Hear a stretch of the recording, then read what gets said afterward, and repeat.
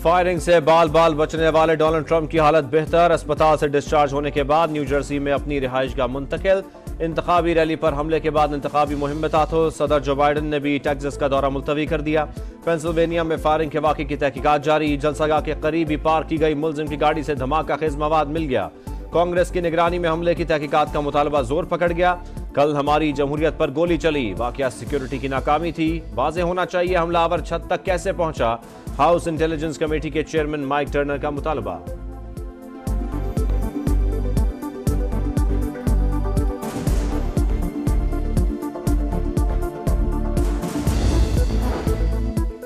से आठ गोलियाँ चली। एक ट्रंप के कान को छूते हुए गुजर गई।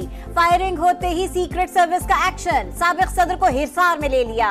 जख्मी होने के बावजूद हौसला बुलंद। मुक्का लहराते ट्रंप के फाइट जारी रखो के नारे। कहा, अमेरिका में ऐसा वाकया हैरान कुन है। मुतहद रहकर बुरी कुतों को हराना सबसे अहम है।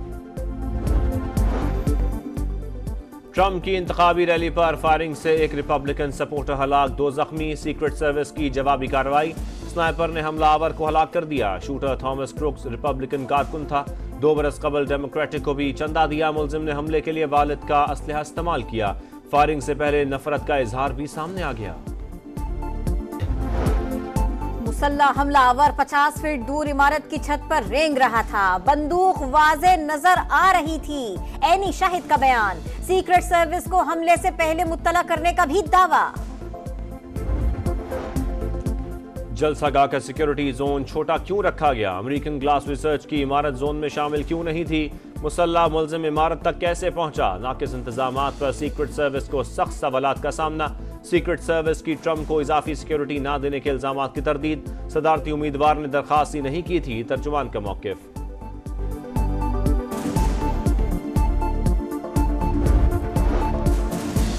थॉमस क्रूक्स ने कभी फौजी तरबियत हासिल नहीं की। नाम रिज़र्व एहलकार के तौर पर भी रजिस्टर्ड नहीं।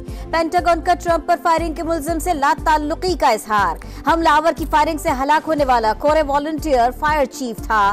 खानदान को बचाते हुए मारा गया। गवर्नर पेंसिल्वेनिया का एक रोजा सोख का ऐलान।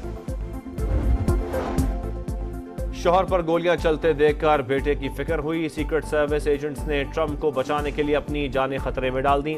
मिलानिया ट्रंप का एहलकारों को खराज तहसीन कहा, अब नफरत छोड़कर तशद की नफी करना होगी।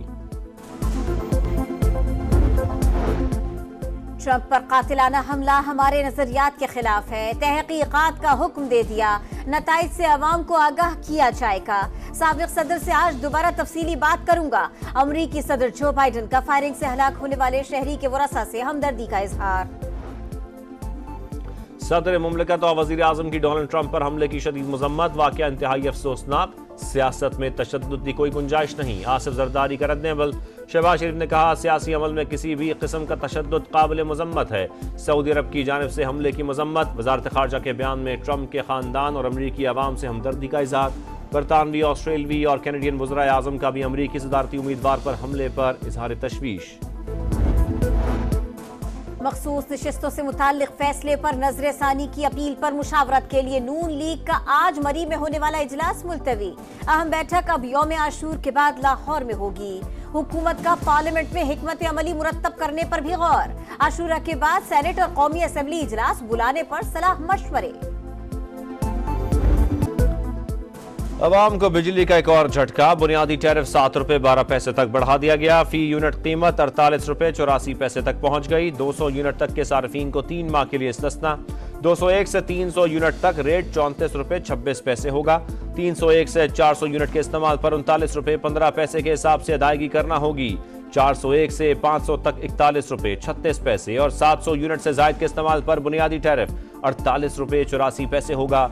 इतलाक यकम जुलाई से होगा। नोटिफिकेशन जारी।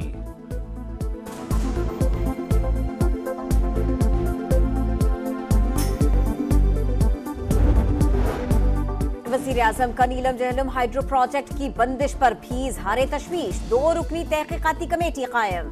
जिम्मेदारों के बरह रास्त और कार्रवाई का हुक्म। काबीना कमेटी बनाने का भी इन दिया मंसूबे के डिज़ाइन में खराबी और तामीर में नकाइस सामने आए। जहाँ कंक्रीट की फिलिंग होना चाहिए थी, वहाँ मट्टी से भराई की गई। तामीराती कंपनी या डिज़ाइनर जो भी जिम्मेदार है, एक्शन लिया जाए। शहबाज शरीफ की हिदायत। नीलम जेलम हाइड्रो प्रोजेक्ट में खराबी, इब्तदाई तहकीकती रिपोर्ट में सनसनी खेज इंकशाफात। दो हज़ार इक्कीस में पी टी आई दौर में हेड रेस टनल की गैर मामूली खराबी छुपाई गई। मुजरमाना गफलत का मुजाहरा करते हुए मुरम्मत भी न करवाई गई। वक्त के साथ नुकसान में इजाफा, दो मई से पैदावार मुकम्मल बंद। मनसूबे की तमीर के हवाले से जियो फ़िज़िकल और के अवामिल को नजरअंदाज किया गया। वजी अजम के जेर सदारत इजलास को ब्रीफिंग।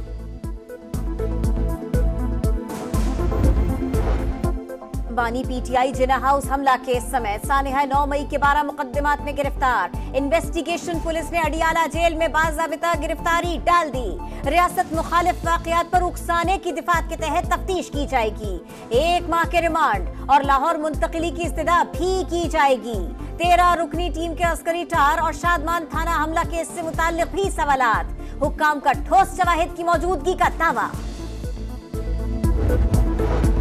नए तोशाखाना रेफरेंस में बानी पीटीआई और बुशरा बीबी का आठ रोजा जिसमानी रिमांड मंजूर। एहतसाब अदालत ने 22 जुलाई को दोबारा पेश करने का हुक्म दे दिया। दोनों मुलजमान को अडियाला जेल में ही रखने का फैसला। नैब की जानब से चौदह रोजा रिमांड की इस्तः अदालत ने छह दिन की मंजूरी दी। मुलजमान के वकील की इस्तः पर दो रोज का इजाफा।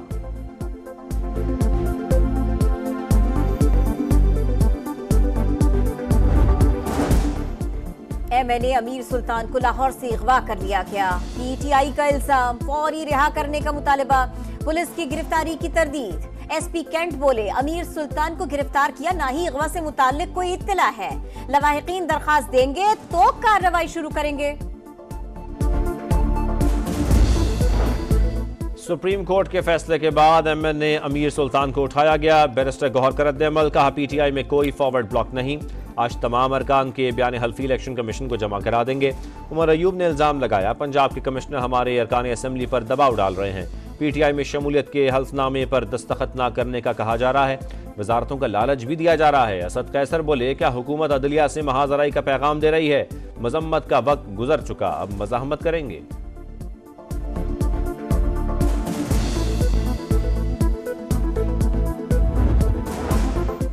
सनम जावेद, रिहाई के बाद फिर गिरफ़्तार। ड्यूटी मजिस्ट्रेट ने इदारों से मुतालिक कर्जा सराई का मुकदमा खारिज करते हुए रिहाई का हुक्म दिया। इस्लामाबाद पुलिस ने कुछ ही देर बाद फिर गिरफ़्तार कर लिया। कराची में बिजली की लोड शेडिंग के सताए आवाम सड़कों पर आ गए। नाजमाबाद नंबर दो में एहतजाज मुजाहरीन ने रुकावटें खड़ी करके सड़क ब्लॉक कर दी। ट्रैफ़िक जाम के बायस शहरियों को मुश्किल हुकाम से मुजाकर के बाद मुजाहरीन मुंतशिर हो गए।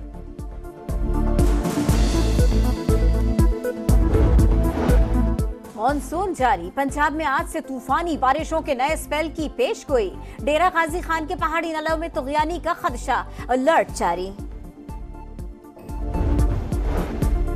स्पेन या इंग्लैंड यूरो कप का सुल्तान कौन? बर्लिन में फुटबॉल के दो आलमी ताकतों की फैसला कुन जंग जारी।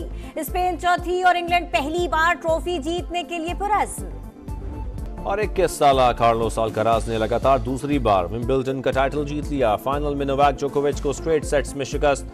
शहजादी केट ने स्पानवी टेनिस स्टार को ट्रॉफी दी।